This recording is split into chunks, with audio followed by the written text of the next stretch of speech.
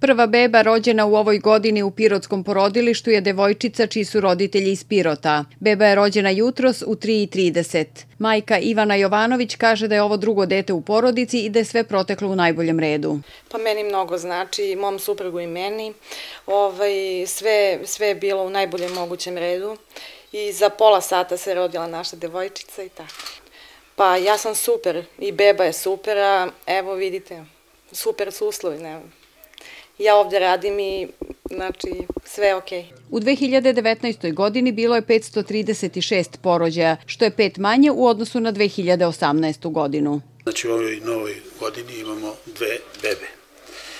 Evo ovako, situacija u odnosu na prošlu godinu je malte ne ista, malo razlika je manja u odnosu na, na 2018. za razliku iz 2017. na 2018. da je bila skoro 50.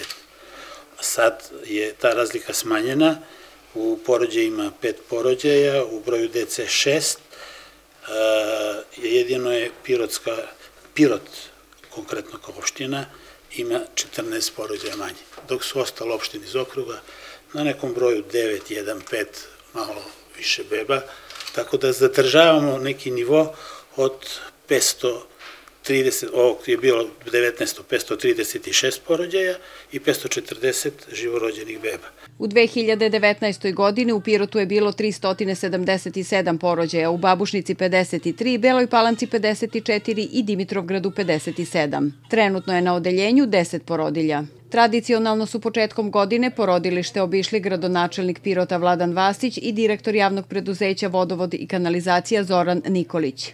Meni je naj lepši završetak prošle godine bio kada sam primio decu koje su se rodile iz vantelesne oplodnje, ali mogu da kažem da je sada početak ove godine vrlo lep, kao što ste videli desetoro beba, deset beba i deset porodilja. Nadam se da će ih tokom godine imati dosta i da će ljudi sa ovog odeljenja, odnosno doktori, lekari, sestre, imati dosta posla u smislu da rađaju bebe pre svega. Negde oko 400 bebice je rođeno ovih godina i 2019. 2018. 2017. malo više, kao što je rekao doktor. Ja se nadam da će i 2020. biti uspešna. Mi se trudimo i što se tiče pomoći u materijalnom smislu za našu decu, za naše majke i u smislu da stvaramo uslove da deca lepo odrastaju i da se bave sportom i da idu u dobre vrtiće i da idu u dobre škole. Evo sada smo čuli ovde da fali nešto od materijalne opreme i to ćemo pomoći, kao što ste videli, odeljenje ovde je poprilično dobro, ja bih rekao da su uslovi fenomenalni i jednostavno pozivamo piroćance i majke i očeve, odnosno roditelje da razviju decu. To nam je nasušno potrebno i Srbiji i Pirotu. Ovo je više neki moralni ovaj čin ili gest da, da eto, našim najmlađim sugrađanima poželimo novu godinu, da dobiju pristojne poklone. Ono što je problem Srbije, to je očigledno nizak natalitet i odlazak e, pre svega mladih e, van države Srbije. I svi mi zajedno ćemo morati da poradimo, čini mi se, na jednoj ozbiljnoj strategiji i dugoročnoj da bi ovaj problem rešili. Ono, kažem, što mi ovde možemo da radimo na lokalu ili vodovod kao društveno odgovorna firma, evo mi to upravo i činimo. To su ovo, ovi paketići ovde, mi ćemo naravno pomoći kao i lokalna samuprava na ovom odelenju da uslovi budu što bolji i nadam se da je to makar jedan procenat pomoći da kao ovom problemu i rešenju ovog problema o kojem sam govorio.